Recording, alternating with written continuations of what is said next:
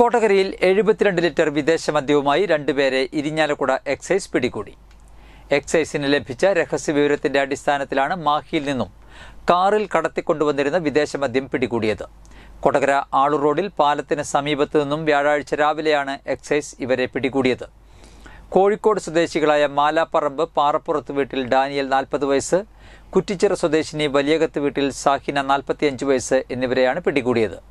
പരിശോധനകൾ ഒഴിവാക്കുവാനായി ദമ്പതികൾ എന്ന് തോന്നിക്കുന്ന രീതിയിലായിരുന്നു ഇവരുടെ യാത്ര. ഒൻപത് കേസുകളിലായാണ് എഴുപത്തിരണ്ട് ലിറ്ററോളം മൂന്ന് ബ്രാൻഡുകളിലായുള്ള മദ്യം കണ്ടെത്തിയത്.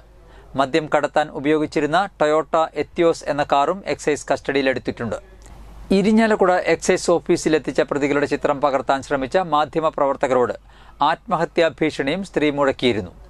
പ്രതികളുടെ ക്രിമിനൽ പശ്ചാത്തലവും എവിടേക്കാണ് മദ്യം എത്തിച്ചിരുന്നതെന്നും ഉൾപ്പെടെയുള്ളവ ചോദ്യം ചെയ്തു വരികയാണെന്ന് Thrissur assistant excise commissioner Satheesh Kumar P K പറഞ്ഞു. അന്വേഷണ സംഘത്തിൽ assistant excise ഇൻസ്പെക്ടർമാരായ T G Mohanan A Santhosh മറ്റ് excise ഉദ്യോഗസ്ഥന്മാരായ P M Babu K M Sajeevan P K Sunil K K Valsan T R Sunil M K Krishnaprasad M S Sudheer Kumar P B Sijomon P V Vishal Saneesh Kumar T S M P Jeevesh Nithya N L Shalini C S എന്നിവർ ഉൾപ്പെട്ടിരുന്നു. ഇപ്പോൾ ഇന്ന് രഹസ്യവിവരത്തിന്റെ അടിസ്ഥാനത്തിൽ നടത്തിയ പരിശോധനയിൽ എഴുപത്തിരണ്ട് litre മാഹ്യ മദ്യവുമായ ഒരു വാഹനം പിടികൂടി കേസെടുത്തിട്ടുണ്ട്. അതിൽ രണ്ട് പ്രതികളെ അറസ്റ്റ് ചെയ്തിട്ടുണ്ട്. കൊടകര വെച്ചാണ് പിടികൂടിയത്.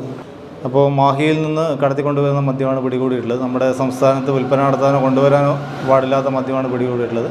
അപ്പോൾ പ്രതികളെ നടപടികൾ ശേഷം കോടതിയിൽ ഹാജരാക്കുന്നതാണ്.